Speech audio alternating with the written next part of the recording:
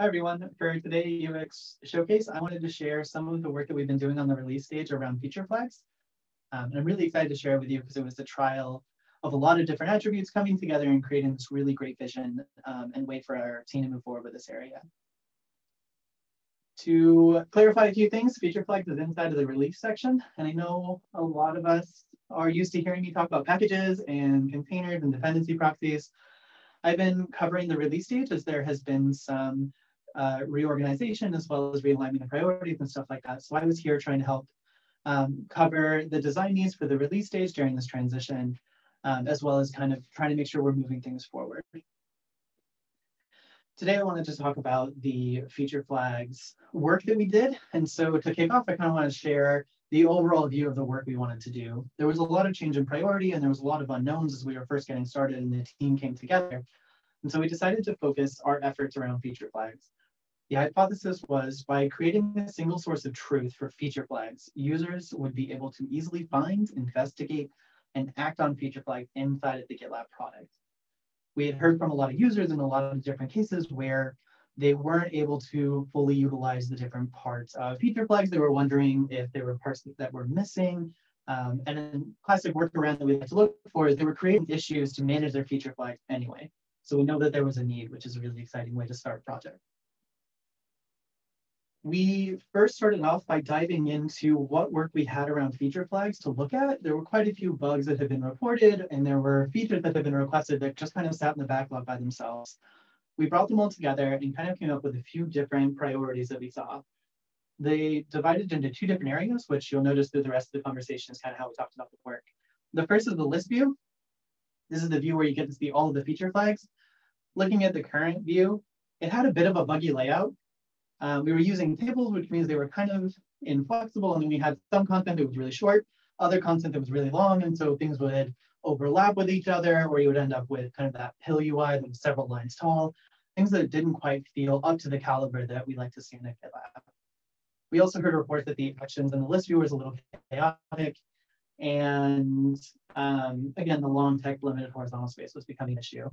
The other half of the work that we looked at was in a detail view starting off, we really didn't have a detailed view for feature flags. And for something that had such an impact on users, it felt really strange, both to me and to users. There wasn't a place they could just look at what's going on with this feature flag. The interface that we offer is just an edit view. So some users felt uncomfortable being there if they weren't going to change the feature flag. The interface had some limited data. The overall content hierarchy and structure was lacking some um, of what they needed and able to really quickly digest the information. And some of the controls that they really expected to have just felt missing. Taking a look at it, all the work we wanted to do around feature flag, and then bringing into account the fact that as a designer, I'm only um, supporting the release stage at half time, I wanted to best utilize my time and make sure that we were utilizing efficiency and getting results, living the GitLab way. For Orit, the product manager and the release team, the think big idea was kind of new, especially for the designer. They were used to working in a way where iteration happened and then designs were reactive. We found the iteration and we had to create a design for it for this milestone so they can work on it in the next milestone. And we heard when we were talking about the other designers that were involved that sometimes it's hard to keep up. And they felt like they were always just trying to fill in the next milestone instead of thinking about things from a strategic vantage. So with limited time on my part, knowing that we were going to bring someone on board soon, we wanted to make the best use of our time and run this experiment together case you're curious about what Think Big is and what I mean by that, we're actually opening up an MR to have this exact conversation. But the focus is that instead of designers reacting to iterations that are defined, we're trying to move design into the vision holders for the team and for the strategy of the category. And then once everyone has a unified vision, work together to break it down in a way that makes sense. We went through the design process, um, lots of conversations with engineering and with some customers that were really involved in the conversation. And we came up with two different designs. The first one was a list view. We kind of tailored it down. We used progressive disclosure in some areas and kind of cleaned it up with the data that users had told us was most important to them. The other thing we looked at was the detail view. And I'm hoping for a lot of us, this looks somewhat familiar. We were exploring the idea of creating feature flags with an issue type, meaning that it would have all of the same controls and mechanisms and organizational tools that we have for issues. We could assign it to a milestone, give it a due date, add labels, things like that. Participants and users could put their feature flag work into their milestones that they were planning. And it felt like a lot of the things user, users were asking for were right in that vein, so the alignment seemed really good. We of course went through solution validation. This was kind of the next milestone. For this, we did moderated testing, focusing on determining if participants could grok the interface itself, find the newly introduced data and data architecture useful, and determine if the issue type aligned with their workflow. What we did for the actual solution validation during the moderated testing is we asked users to, um, first, we presented them with a problem. We need you to investigate this feature flag and determine the next step. We asked them, what do you expect your process to be around here? And we kind of gathered their expectations. Next, using the prototype, we asked them to find a specific feature flag, understand and kind of describe what they were seeing in terms of what's going on with that feature flag and determine the next step. The last part of the solution validation was focused on individual pieces of the UI. So we walked from the top to the bottom. What does this UI moment mean? What does this UI moment mean? Really go through the effort of trying to understand what users were seeing and what it meant to them, validate that the data we were trying to present was being received. Solution, solution validation results, they're always really exciting. We had a lot of wins. Um, every participant was able to complete the task. So they were able to find the feature flag, they were able to understand the data that was being shown, stuff like that. We, because we asked them ahead of time, what do you expect you would do in order to solve this problem? We were able to see that the UI and the flow that we put together matched what they were expecting. They expected to find it in a list. They expected rollout information to be presented, etc information shown was really clear. This feels really nice because we were using a lot of standard GitLab patterns and users were able to very quickly say, yes, this is what this is, yes, this is what this is, and they felt confident what they were saying. We added a history and discussion section similar to what we see at the bottom of issues. Users really loved that. They wanted, were excited by the idea that not only could they see the rollout pattern now, but they could see when it started. And if there's a bug in production, they can see like the feature flag started in production two weeks ago and we started having bugs two weeks ago, this lined up for them a lot. One thing that a lot of the users said is this now feels like GitLab, which is always a really powerful thing because we do have a high standard for our design and the way it should feel and look, especially when we're trying to enable trust. Getting them to react that way was really powerful. Some things we did learn, unfortunately, feature flags and issue type didn't quite resonate with our users. They found it kind of confusing at times. And when they did understand it and were able to kind of walk me through it, what we discovered is for a lot of organizations, the individuals and team members that were in the backlog, engineers and product designers, weren't really directly impacting feature flags when compared to an SRE whose job it is, to make sure rolling out goes effectively. And so combining the two of them didn't quite work for them. This was doubled down on the controls became really confusing. So if I close the issue for the feature flag, does it turn off the feature flag? Things like that just didn't quite line up. And when we tried to explore a little further with the users, they couldn't really come up with an answer that made sense to them. And then the last thing we learned is as we talked to a lot of different people, the different needs of different org sizes were completely different. Small, scrappy startups had one person, the engineer, managing the feature flag from start to finish. And so it kind of made more sense that it wasn't an issue. Large organizations, there's whole other teams that handle this. And so putting them together didn't quite work for them. They did like, however, that they were all connected. So what we walked away from we made some edits to the list view and the detail view. We took a lot of the learnings that were positive and got really good feedback from the users, and we put them into the design. We know and have a lot of confidence that things tested well, that people were feeling really excited. And so we have a lot of work that we could work on. One of the advantages is because we were thinking bigger and trying to expand the view of what we were looking at to create that vision, even though the issue type part of the conversation wasn't quite what we thought, what we were looking for, a lot of what we were doing and showing to our users resonated. It tested very well and they liked the improvement. So even though the core of it wasn't quite what we wanted, we did see a lot of great stuff. The next step, of course, is after solution validation, you've got your design and it's pretty and users love it, is passing it off to your engineers. There was a very large hesitancy in this new release group that we were going back to waterfall, that we had done this really big design and then just kind of handed it off to them, and now they expected to just build everything. And that goes against our values of iteration, how focused we are in MVC. This just didn't feel right to them. And understandable. So what we did is I asked them for a little bit of trust. It worked out really well. And I said, we're going to break it down together. It's going to make a lot of sense and it's going to feel independent and individual. And I hope you like it. What we ended up doing was really demonstrating that think big, work small model. So based on the testing, based on the exploration, all the design work we did, we were able to create 13 unique and independent issues. Some of the issues were really simple. This issue is devoted to updating the button to the brand new styling that we should be using, making that primary button blue instead of green. Some of them were a lot larger, like adding the markdown description and edit state for the issues. This is a lot of uh, interconnected parts and will probably have to be broken down a little bit further, but they're actionable now for engineering. There's also from the research, this refinement area where we know we're gonna have to investigate further. The history and discussion section, being able to see the history of the feature flag and add comments, we know already that there's gonna be a need for a technical investigation. We're gonna have to explore whether we can just copy and paste what's already there into the feature flag. What happens if I get tagged in it? Does it also make a new to do? How do we handle that? So we know we're going to have to have those conversations, but when we have that unified vision, it's easy for engineers to take the lead in those conversations and come forward with ideas instead of kind of asking designers and product managers to define a lot of things for them. It makes it a lot more of a collaborative experience. And this is the same thing with the expanding the filters and sorting capabilities and enhancing the strategy. We know we're going to have to put a little more work in there. The other thing that we get to add with this Think Big model is we now know some more areas we need to explore. We found some things that we know kind of work and we should do more investigation on it. The big one that's kind of obvious is the connection between issues and feature flags. Users saw that there was some need for them to be closely interacting, but the fact that one was exactly the other didn't work. So we need to put in more time into that. That's my spiel for today. It was a really fun exercise, especially considering that I was at halftime, so there was a lot of efficiency in delivering and setting expectations. It was really wonderful to work with the release team, Ori and Nicole, and absolutely everybody was wonderful to work with. Lots of great communication. A lot of you on the release team took a chance and you trusted me, and I hope that you are very excited with the outcome um, as some of the engineers happened. That's it for my presentation. So thank you. That's awesome. Thank you, Ian. I've seen how Feature Flag has evolved as a capability, so it's super exciting to see the next steps and how we can make it a first-class capability with GitLab. So thank you for sharing that. Um, and it looks like we have a couple of questions in the agenda. Holly, would you like to, to voice your first comment?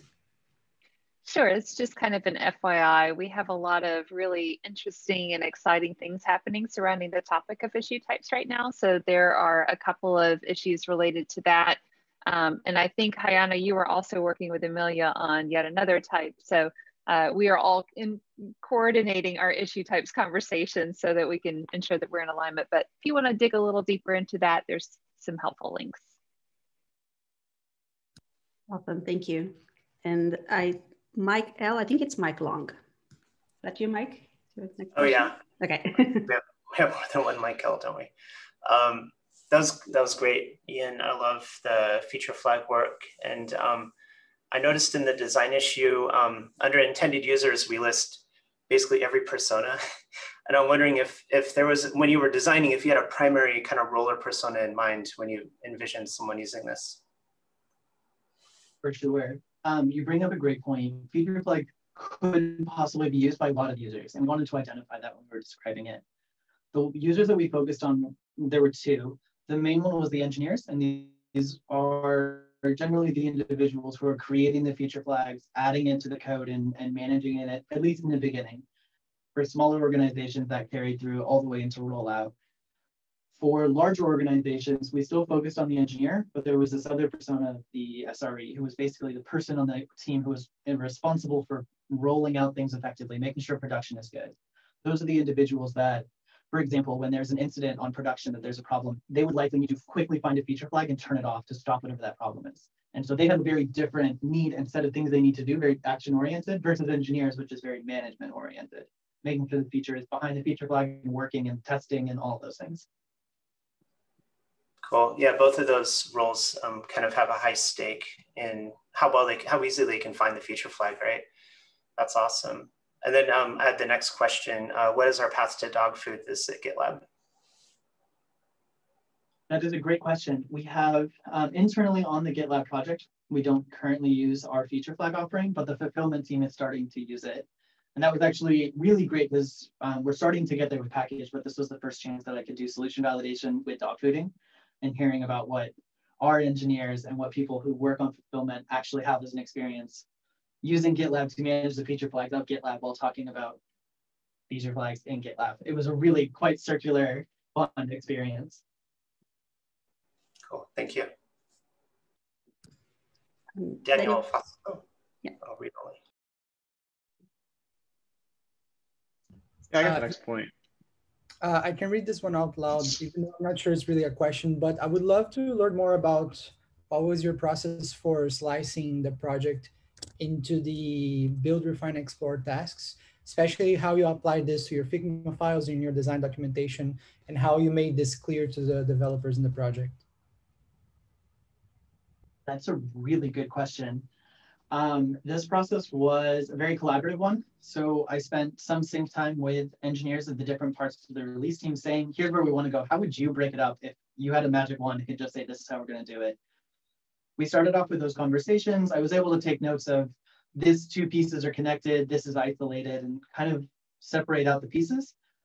And then from there, this is a less elegant thing, but it seems to be really effective for me, is I kind of take the current state and figure out what is the smallest change I can make to the current state to get me to where I want to go, which is that vision.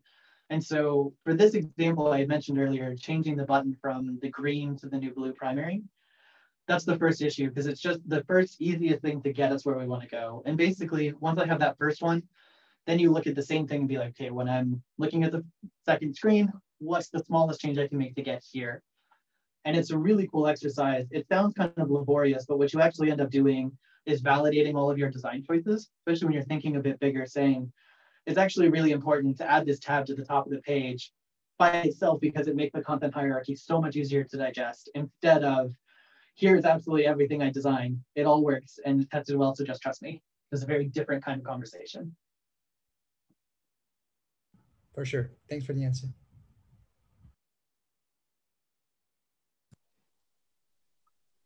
Austin, I think you have the next question.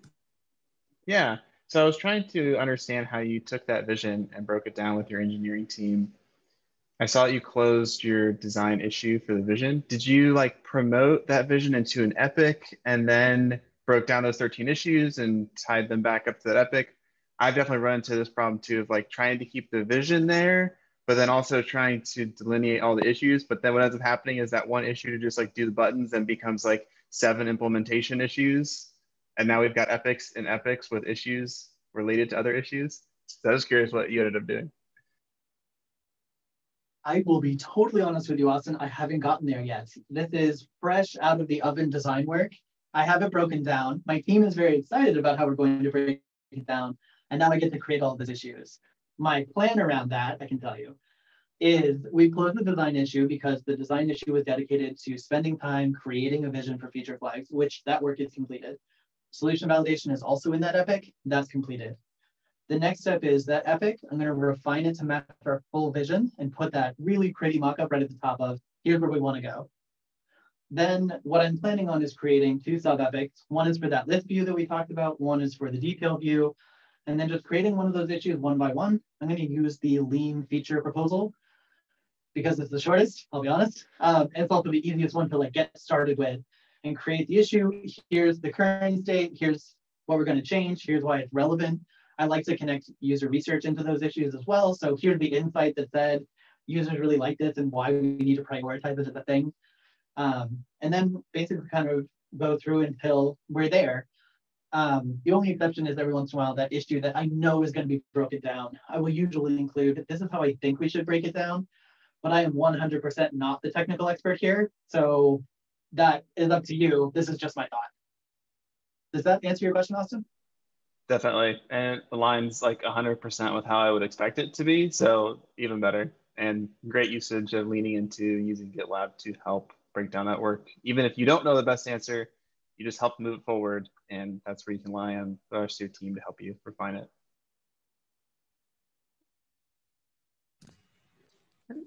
Nadia, you have a Nadia. next question. Uh, I think my question was already answered by the previous two answers, so I'm good. Thanks, Ian. It's great. Awesome. And then last You're questions by Nick before we can wrap up. Yeah, I just want to say this is this has been a, a, great presentation. Really appreciate it, and this like really feels like design for me. So uh, like it's sort of the design and design thinking approach that I'm really uh, familiar with. So it's great to see this uh, in GitLab and this being sort of balanced in an all remote environment. And I was just wondering um, when I've done this stuff synchronously. Um, typically, we've driven engagement for engineers by getting everyone in, together in a workshop, getting people sort of pumped up, and getting getting like everyone sort of uh, engaged that way. Have you got any tips for how you can engage uh, engineers and other team members um, in this sort of async con uh, context or in this sort of uh, remote context? That's an excellent question. Um, my biggest tip is get engineers involved earlier. Um, so when you're doing that initial stage of sketching up wireframes, there's zero harm in just pinging a couple of the engineers on your team and saying, this is the concept I want to build towards. We've clearly not even started the official design here, but what do you think? And going through and touching base with them on the regular means that when it's time to break up that thing and get them more involved, they're already aware of all the context of the things you're talking about. So you remove the need for like, here's 20 minute presentation of what my design is, and then five minutes, let's quickly figure out the next step. Instead, those few moments where you are synchronous, it is purely devoted to, you know the plan, you know where we wanna go, how do you wanna build it? Because ultimately, you're the ones building it. So this is the most important step for you to determine your workload, how you wanna work, those kinds of questions. Kind of positioning it that way has really enabled engineers to feel empowered to jump in especially I mentioned the history section. This is the perfect example of it seems like it should be easy because we have it everywhere, but actually technically it's very difficult. So we should just assume that's going to be hard. And then I can take that back and just say, okay, well, here's the issue dedicated to that. I can warn us that this is going to be broken up and then pass it on to you just like normal planning breakdown flow that people are used to. Wonderful. Love it. I think this is a great example of our value of transparency. Thank you. I see a lot of head shaking. So thank you so much, Ian. Thank you.